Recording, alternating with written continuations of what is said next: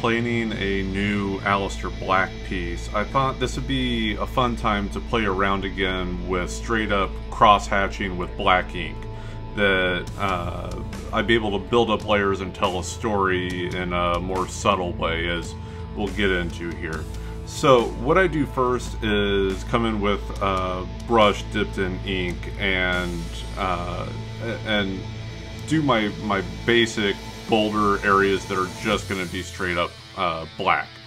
And then just to add a little texture, a little variety, I dipped a toothbrush in some white acrylic paint and splattered that around there. You know, just something a little more wild, a little more unplanned because the rest of this is going to be really super uh, planned out. And I'm using first a pen with a finer tip on it and you see I'm just doing line after line after line. This is going to be the next darker stage with it. And it looks like it's going real fast, but uh, it's because it's sped up, right? Uh, as I am actually doing it, you see it's just one line after another line after another line. There's probably thousands of lines on this. I didn't count.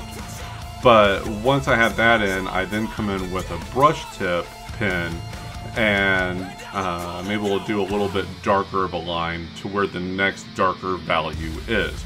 So what you see what we're doing here, and, and I'm really sorry for this pun, but not so much, but we're fading to black.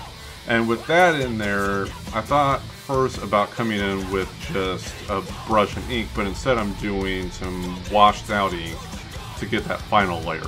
There's that finished piece. Not bad.